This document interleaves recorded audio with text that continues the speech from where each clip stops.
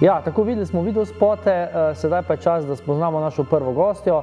Mogoče ste jo že prepoznali po uvodnem video spotu. Z nami je Ema Jagrič, lepo pozdravljena. Zdravo, Kako si? v redu pa ti? Super. Uh, deževno je, ampak v naš studio je prijetno toplo, se strinjaš? Res je. Ja. Uh, zdaj nisi prvič naša gostja, bila si že virtualna gostja v Ja. rubriki Coffee Break. Nažalost, marca še ti koronski ukrepi in si bila gostja v Coffee Breaku. Mhm. Uh, za, za tiste, ki so takrat um, zamudili Coffee Break ali pa niso gledali daje, mogoče bi te prosil, da čist na kratko, da se predstaviš, eh, prihajaš iz celja, kaj več boš pa sama povedala. Ne? Ja, uh, sem Ema Jagrič, stara sem 18 let, v bistvu prihajam iz Žavca, tako da blizu celja. Uh -huh. uh, obiskujem četrti letnik ekonomske gimnazije v celju, uh -huh. naprej pa bi se v bistvu rada opisala na komunikologijo. Uh -huh. uh, v prostem času pojem. Uh, v bistvu učim se pri pevki Ali, kjer v bistvu sem že 11 ali 12 let, tako da se z Alijo zelo rade pohecam, da sem že konjen otrok, ker sem že res od malega tam. Uh, pa izdala sem že nekaj svojih pesmi, tako da snemam YouTube videe.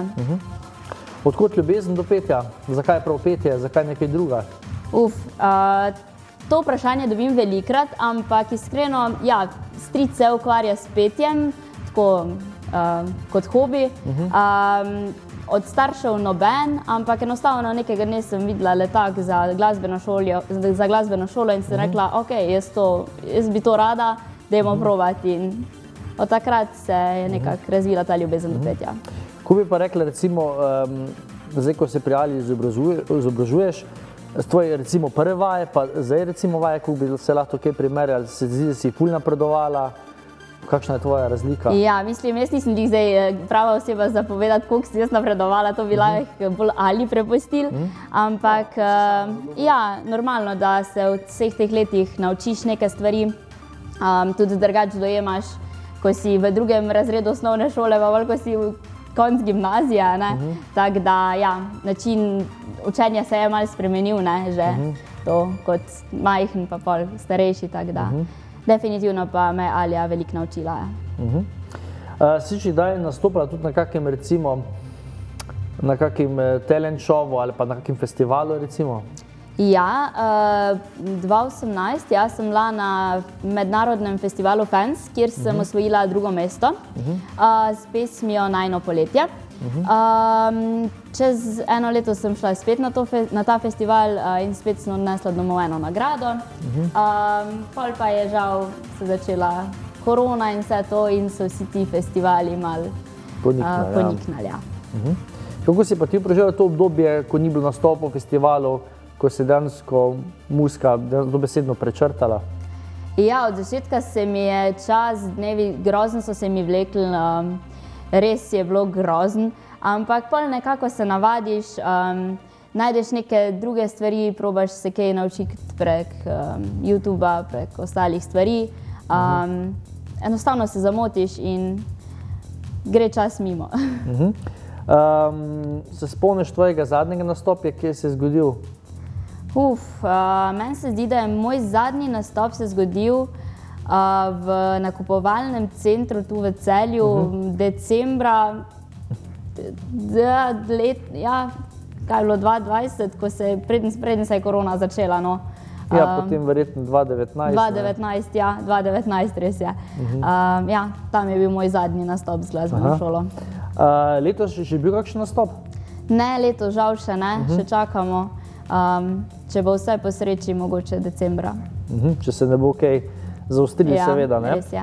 Uh, zdaj, preden smo začeli s pogovorom, smo videli tudi uh, spot za ta džin. Ja. Uh, mogoče na kratko o tej skladbici, kaj si nam hodila z njo sporočiti, uh, kako se je prijela v tem času, odkar si jo dala na YouTube. Ja, um, odzivi so bili pozitivni. Um, drugač pa ja, mislim, nisem zdaj, uh, pesmi ne smemo imati dobesedno, ne, uh, seveda. Uh, ampak enostavno, uh, da včasih moraš vse te skrbi dati na stran in uh -huh. se znati tudi pozabavati. Uh -huh. Tako da, ja, Z džinom ali brez. Ne? točno tako.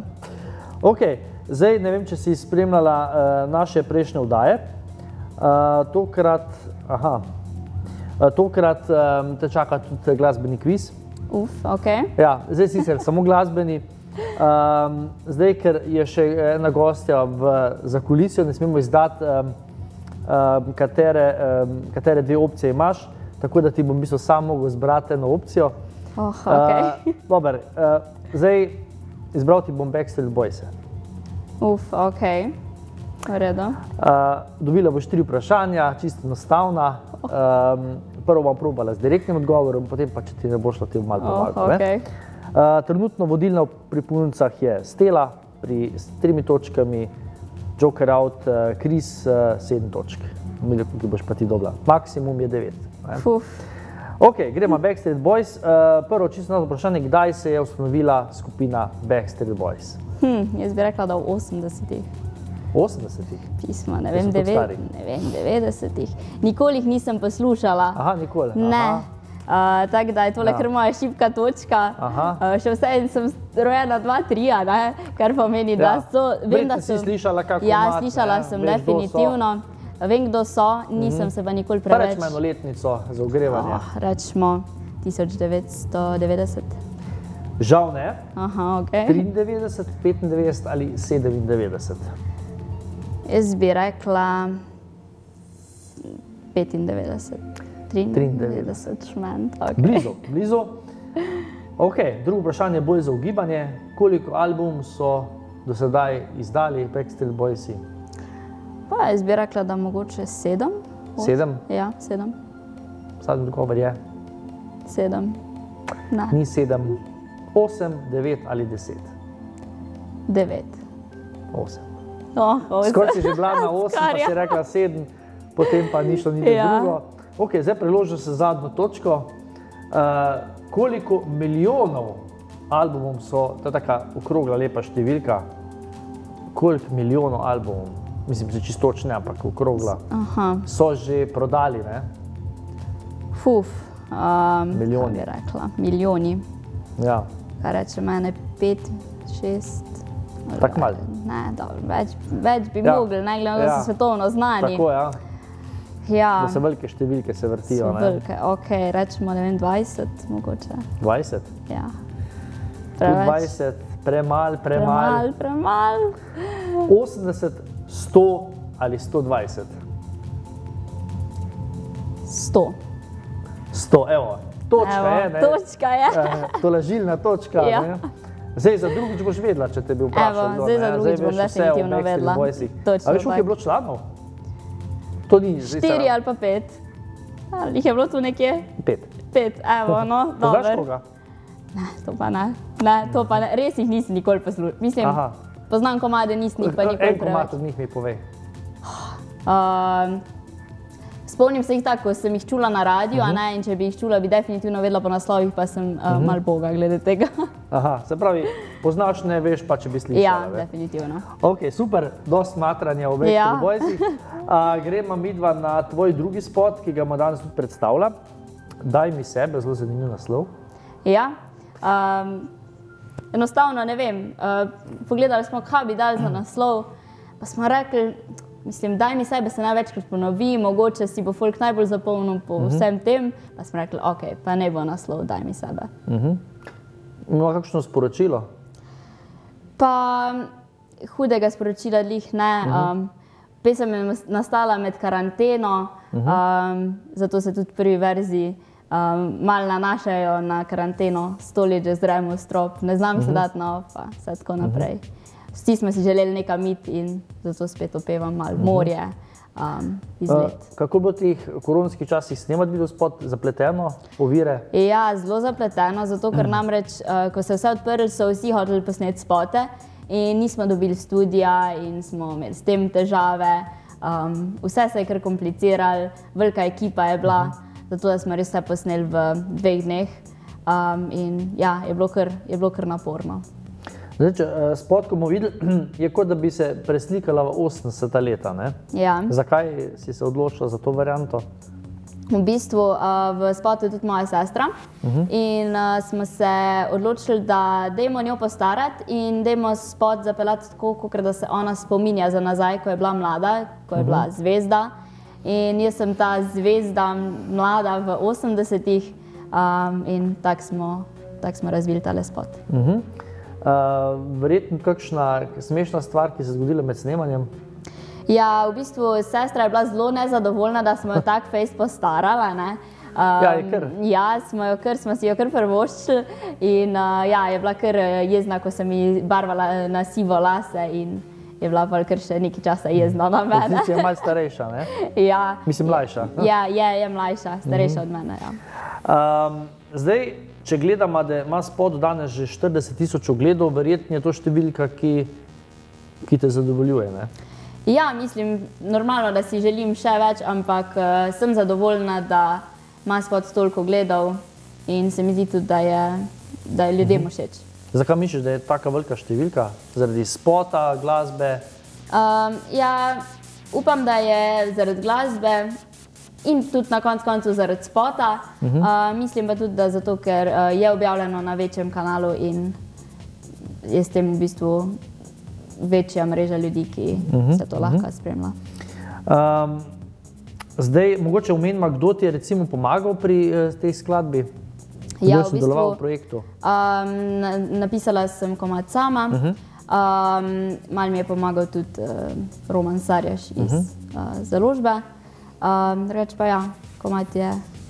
Sp, pri spotu so mi pa ja, je bila pa zelo velika ekipa vključena uh -huh. vse skupaj. Uh -huh. Uh, je ekipa recimo pri Džinu, pa pri tej Daj mi sebe enaka ali se kaj Ja, veliko menjalo? ja, ful smo se ujeli, uh, smo podobnih let in uh -huh. enostavno je fajn delati z njimi.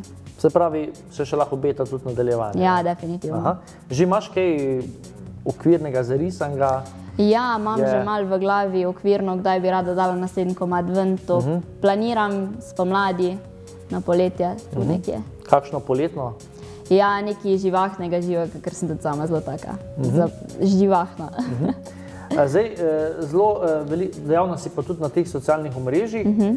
in eh, na, se pravi, na YouTubu snemaš vloge, bloge, mislim, prispevke ja. za kanal Džungla.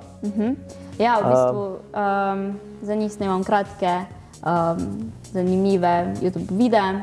Um, tako čisto različno, včasih so neki challenge, um, včasih vlogi, naprimer, ko sem bila na Tenerifih, uh -huh. na izmenjavi sem malo povlogala, uh -huh. smo to objavili. Reč pa snemam tudi za njih različne TikToke, uh -huh. dam kako idejo, kaj bi lahko še snemali, uh -huh. da se imamo zelo fajn. Eh, Verjetno ti nikoli ne zmanjka idej za kakšen nov vlog. Ja, mislim, ideje kar, kar letijo, da se moraš pa včasih kar odločiti, kaj, kaj, boš, um, kaj boš zbral.